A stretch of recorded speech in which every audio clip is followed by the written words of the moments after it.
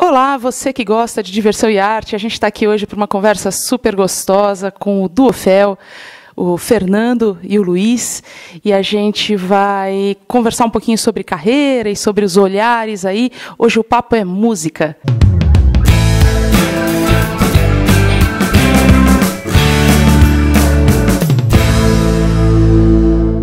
Bom, primeiro, obrigada aí por aceitarem o convite de estarem aqui nesse papo com a gente. Vocês são uma das grandes referências aí dentro do contexto da música instrumental no Brasil e fora, né, do Brasil. E eu queria perguntar para vocês sobre essas similaridades e essas diferenças aí quando a gente pensa esse mercado musical aqui e lá fora. Não, primeiro eu queria dizer do nosso prazer em poder estar aqui é, no Diversão e Arte. Porque se tem duas coisas que a gente sabe fazer é isso, é se divertir com arte, desde que nascemos. E outra coisa é poder prestigiar essa querida, a Bia é uma querida, está envolvida, é, a gente está envolvido de certa forma desde o projeto do Ofel 20, onde ela, junto da outra Bia, eu nunca vou esquecer, aprovaram o nosso projeto de Lei Rouanet. E então, é um prazer ver você crescendo assim na, desse, nesse trilhando esse caminho e agora abrindo esse espaço para nós. Eu vou falar uma coisa para você, Bia. A gente está num, num projeto de fazer música e quando você entra para valer, é, você para de pensar. Para de pensar, é, para de falar com o ego e começa a se dedicar àquilo que é o impalpável, e, e quando você acredita no impalpável, no intangível, parece que você está tá sozinho no universo. Então, eu agradeço muito, tenho muita gratidão em ter um parceiro, né? porque isso põe a coisa de que eu não estou sozinho, eu tenho um parceiro, alguém que acredita da mesma forma que eu no sucesso de uma proposta nova musical. O mercado musical está se transformando muito. Foi o primeiro grande mercado a cair com os downloads e a pirataria. Mas eu não estou reclamando, porque eu estou achando maravilhoso, não a dificuldade que nós estamos passando, mas a transformação. Porque a gente, eh, eh, nós, enquanto estávamos lá atrás, há 40 anos atrás, nós nos rebelávamos muito com o establishment, do jeito que as coisas estavam. Sabe, o poder na mão de meia dúzia de grupos. Agora as coisas estão diferentes, estão mudando. A gente não sabe como vai ser, porque hoje a gente não sabe como vender música, não existe nada sem música. Mas eu vou perguntar aqui para o Fernando se ele sabe como vender música hoje. Olha, eu sei tocar música. Vender, a gente consegue, e às vezes, quando a gente consegue um público e, e, esse público vê a nossa música, a gente consegue passar essa emoção, aí de repente eles levam nossos discos para casa. E é um prazer enorme, porque na verdade isso serve só, esse mercado da música serve só para isso, entendeu? Para que as pessoas levem aquela, aquela música dentro deles e levem essa música para tudo quanto é lugar, né? É, então, é, realmente, como o Luiz falou, o mercado da música, tá, antigamente a gente tinha pontos de venda, as lojas, né? E hoje a gente perdeu tudo isso, né? Então tem a internet, então a gente faz por diversos por diversas coisas, né? Por internet, por loja física. E, então cada vez mais a, a, gente tem que se ir se renovando a cada dia. E o mercado está se mostrando é, impossível nessa de você palpá-lo, entendeu? Então você tem que estar alerta todo dia para ver como é que funcionam as coisas. Mas é, só finalizando, porque a gente falou, falou e não falou o que você perguntou, né? Eu acho até interessante a produção atual, sabe? É, nós estamos trazendo a juventude, né? Traz o novo. E o novo está vindo é, decodificado em relação àquilo que a gente tinha como código. O que era música para nós? Eu vou fazer música, vou falar de música e vou falar de um carro. Eu adoro carro. É, então, um carro, é, ele para ele ser um carro, ele precisa ter as rodas, o chassi, o motor, a carroceria, os bancos, farol, uma série de coisas. Para nós, a música sempre foi assim também. Ela precisava ter harmonia, ritmo e melodia. Hoje, as coisas estão mudadas, estão diferentes. E a música, como foi o primeiro mercado que a gente comentou, que sofreu um novo, no novo mundo, novo milênio, é, ela também apareceu nas primeiras transformações do novo mundo apareceram na música uhum. através dos movimentos hip hop, dos rappers, onde se utilizam de determinadas partículas da música, não da música como um todo. Se utiliza do ritmo, não da harmonia nem da melodia, para fazer poesia. Está valendo? É o novo mundo. E a gente que vive de harmonias e melodias temos que descobrir como é que se, como colocar essa nova emoção. Porque música tem dois tipos: a que você faz para fazer dinheiro e a que você faz para satisfazer o seu, para compartilhar o seu dom. Em geral, essa segunda parte está com os instrumentistas, em geral. E na grande maioria da música mais comercial está voltada para a música cantada. Mas nós temos grandes músicas, grandes valores atuais, eu vejo, pelo Brasil e pelo mundo. E uma coisa que eu achei interessante, é, a gente esteve com algum tempinho atrás com o Zuz Homem de Melo, para quem não sabe, é o nosso grande e maior crítico de música, da música instrumental e da MPB, e ele disse para nós que nós estamos sendo copiados no mundo inteiro pelos jovens. Eu achei interessante. Interessantíssimo. A gente vai tateando para entender o que, que é que está, que movimento é esse no sentido tanto relacionado com aquilo que a tecnologia traz, tanto relacionado com esse entendimento de como é que as pessoas vão absorvendo e transformando isso a partir de uma de um acesso né, que é maior que se tem de, de aparatos, inclusive tecnológicos, aí, que, né, de, e é o que a gente também sente, por exemplo, quando a gente pensa um, um canal e, e, e, vai vendo o que, que, é que traz aceitação, o que, que, é que traz menos visibilidade, né, visualização do canal. Isso tudo é, é estranho a todos nós, né? E essa é a experimentação de quem gosta de fazer, na verdade, né? De quem está fazendo pelo, pela paixão, né? Que é o que vocês destacam e reforçam. Pelo dom. Sim, sem dúvida. É, eu vejo assim esse novo mundo, ele está com esse. Nós temos essa questão ela tem que tem que ajustar. Entende? Já deu para ver que não tem dinheiro para todo mundo. Já deu para perceber. A história da civilização já mostrou isso. Então nós temos que modificar isso daí. Dinheiro eu acho que já acabou. Já chegou no final a questão do dinheiro, entende? Porque tem meia dúzia aí de rato que prende o dinheiro com eles. E o resto do mundo tem que trabalhar para eles. Eu já não aguento mais isso. Estou trabalhando para mim e para ele. Quando, e quando ele me cobra, eu já, já tenho vontade de separar dele. Mas a gente está dividindo direitinho, sabe? Aqui, aqui é muito bem. Por isso que essa parceria de 38 anos funciona exatamente por isso. Porque cada um sabe o que está fazendo, entendeu? Cada um faz o seu melhor. Então ninguém interfere na, na, na no, no, que tem a acrescentar para o Duofel. Então cada um sabe a sua parte, o que fazer. E só respondendo uma pergunta que você fez lá atrás, qual que seria o melhor público, o público lá de fora ou o público daqui? A gente não tem diferença para isso, né?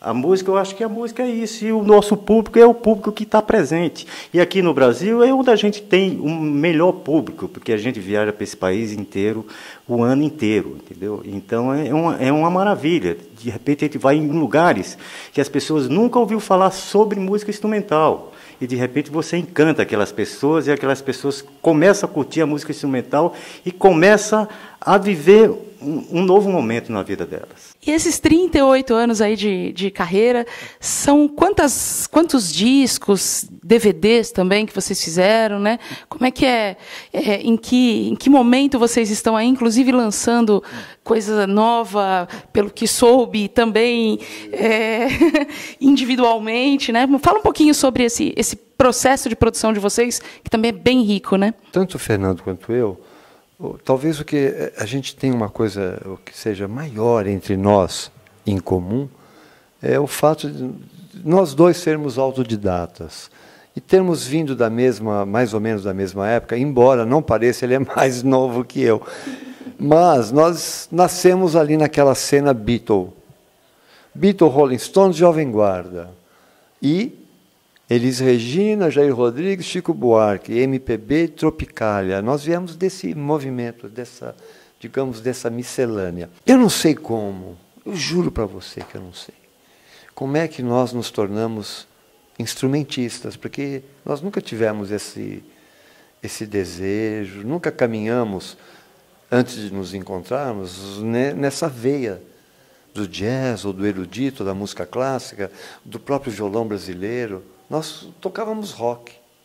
Gostávamos disso, gostávamos da Jovem Guarda quando garotos. Então, acho que o nosso encontro ele foi uma coisa arranjada para que a gente trouxesse juntos é, à tona um novo estilo musical dentro da própria música instrumental. A nossa música não se parece com nada.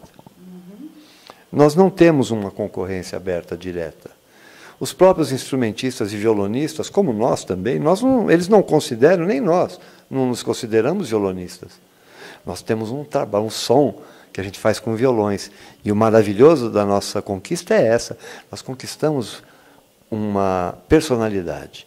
Isso é fundamental em qualquer trabalho de arte. Eu, quando vejo hoje nossas fotos, hoje, quando eu vou ver o programa agora, nossa, eu vou falar já como nós estamos velhinhos, visualmente, mas aqui de dentro, mesmo olhando no espelho todas as manhãs, às vezes eu falo, nossa, como você está acabado, mas eu não me vejo velho, porque é uma força, é uma vontade de fazer de novo, de reconstruir. Nós que fizemos, gravamos 13 CDs, gravamos três DVDs, dois LPs, e uma fita cassete. Nós temos essa produção. Mas eu acho que talvez a nossa maior conquista tenha sido esse nosso espaço, uh, que é a Fine Music que nós criamos, assim que o, o, viramos do ano 2000, nós já entendemos o novo, que a coisa estava mudando com as histórias dos downloads e pirataria, e inventamos isso, que é a nossa, a nossa empresa que a gente dá expediente, aqui é diário. E aqui é um entre sai de gente, de coisa para gerar trabalho, para gerar música. E, sinceramente, eu vou falar para vocês que estão do outro lado, esse é o caminho. A gente tem que acreditar no que a gente está fazendo, tem que pôr dinheiro, sim. Tem que pôr, esse é o mecanismo, as coisas funcionam assim. Qualquer pessoa, qualquer empreendedor, o cara vai abrir uma loja, ele tem que botar o dinheiro e vai anunciando e vai usando o, o sistema. A gente faz isso. E o nosso prazer é esse. É, estarmos aqui. Demorou anos, agora nós estamos com uma, uma casinha aqui que é a nossa que, que, é o nosso recanto, nosso refúgio e ao mesmo tempo o nosso lugar de construir a nossa música. Nós metemos a mão na música o dia inteiro. A gente não ouve mais música, a gente faz. Então nós estamos no momento trabalhando com a trilha sonora do longa-metragem do Klaus Mitteldorf, chamado Rio Santos. A trilha está praticamente pronta, o filme está em montagem. A nós acreditamos que em 2017 nós estamos estreando o filme.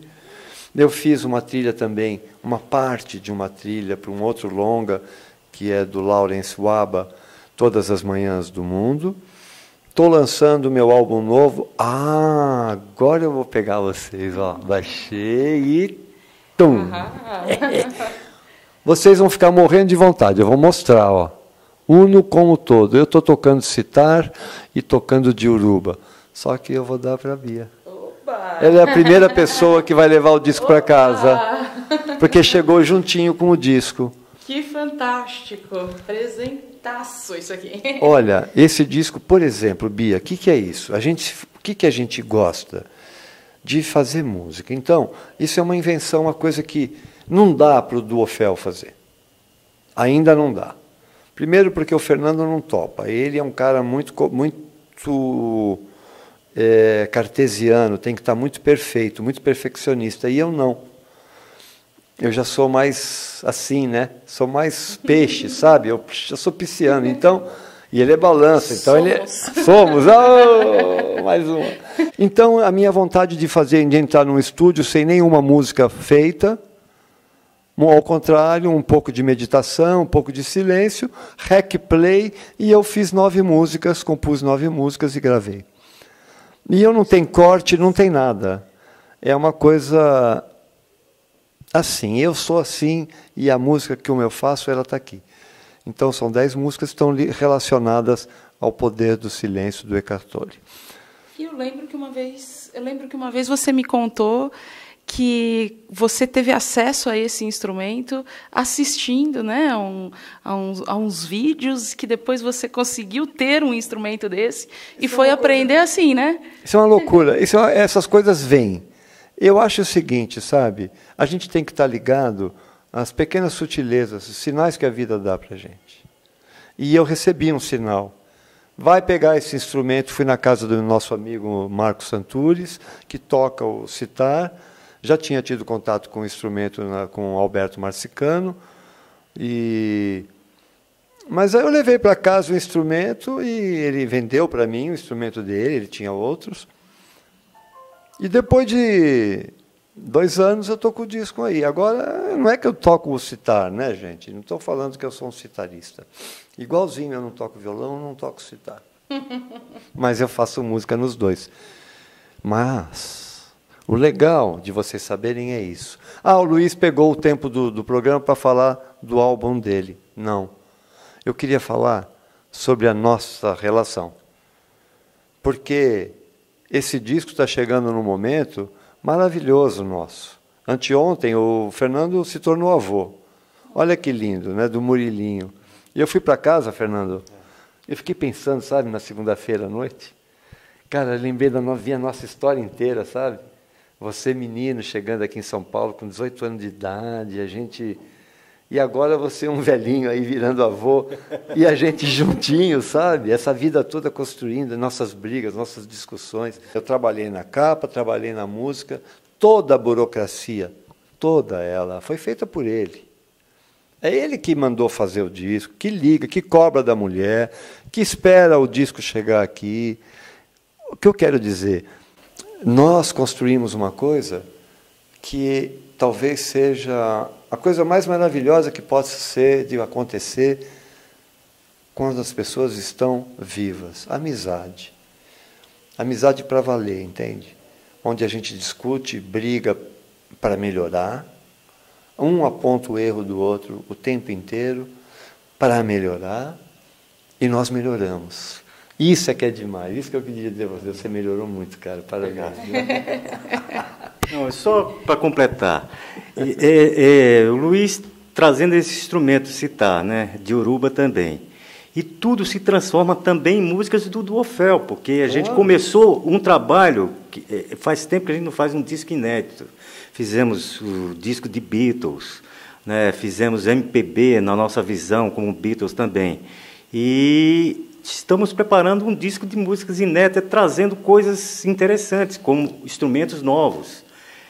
Instrumentos que a gente parou de tocar quando começamos com os violões, que são as guitarras. Eu mandei fazer uma guitarra de 12 cordas, o Luiz comprou uma guitarra Gibson, que era o sonho dele, uma semiacústica. Então, estamos fazendo um trabalho com guitarra, ou seja, outra sonoridade preparando essa sonoridade. É bom que ele vá gravando para aprender mesmo, porque quando chegar no disco do hotel, ele vai dar uma fera. É, isso aí.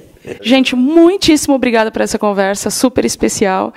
E espero que vocês tenham gostado. E se gostaram, comentem, curtam, compartilhem, é, divulguem, que a gente faz esse trabalho junto com vocês.